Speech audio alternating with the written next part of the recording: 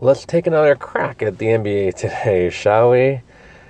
Man, uh, it's been rough last week or week and a half, but we can rebound. Um, yeah, I'm just like personally, I'm not spending a lot of money on NBA right now. It's it's a hard code to crack, but I think we uh, are on the verge of something here. Um, first, let's talk about Derrick White. Well, actually, we can talk about Derrick White and Luka together. Probably my two favorite plays this year. Um, Derrick White is climbing up in salary. Luka is just still cheap for what he does. He does everything good.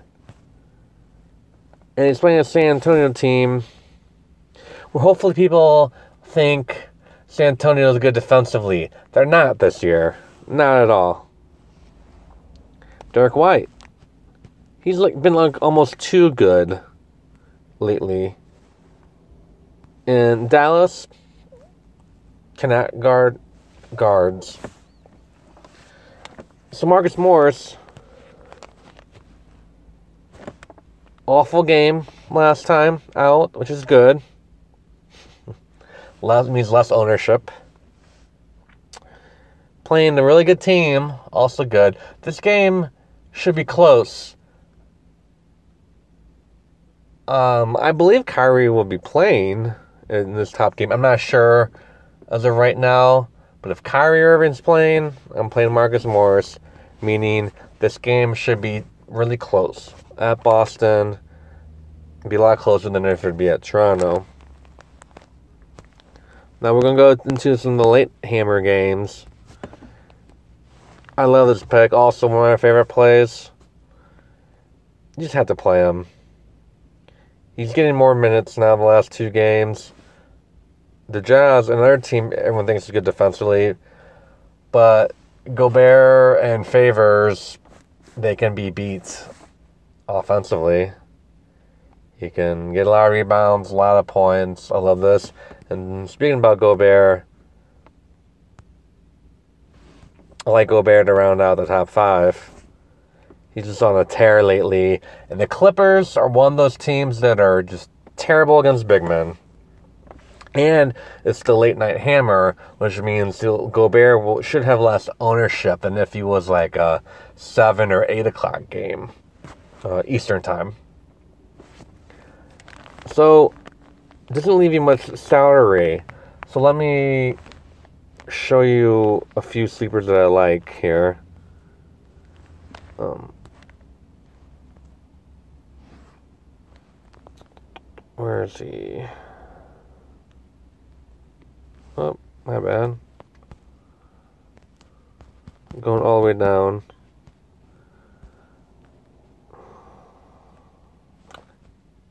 Casspi. Now it's wrong. I thought Justin Holiday was going to be starting and playing like 30 plus minutes, but apparently, the, even though the Grizzlies traded for him, apparently they don't like him yet.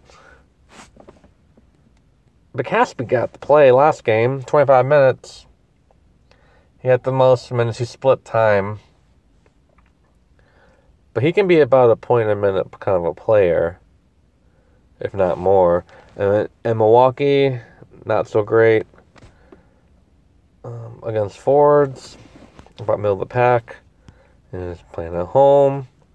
Also, who do I like up here who also had a bad game last time out? Royce O'Neale had a terrible game last time out. So I'm playing him. I'll be playing him. Late Night Hammer, the Clippers, terrible against just about everyone. I mean, the Clippers are a really good team, so they'll keep the score close, but defensively they're bad. And then also, tripping around, Iguodala, pretty good game last time out. I'm sticking with him. Again, the Pelicans are bad defensively. I don't know if this game's going to be a shootout. I mean, a blowout. Uh, the Warriors did play last night. They blew out the Nuggets thought that game would be close. Like there are a lot of, I think the average margin of, a victory last night was like 28 points. I was like every game was a blowout, pretty much. And then sticking to it, I like Looney. I should have a good run against that. So my top five I have here. This would be part of one lineup that I'm doing. I'm doing a second lineup tonight. And what I'm doing is I'm picking the game that I think is going to be the highest total in points. And then I am just doing that game. And I'm just going to see what happens. So I can, so I'll report back to you guys tomorrow um, about how that lineup did. So, anyways, they'll do it. This is my top five. Thank you so much for watching, subscribing, liking. Comment below on who you think you about playing, or if one of these five guys you like to play or don't want to play. Yeah, just let me know who you're playing. All right, guys. Thanks so much. I'll see you in, in the next one.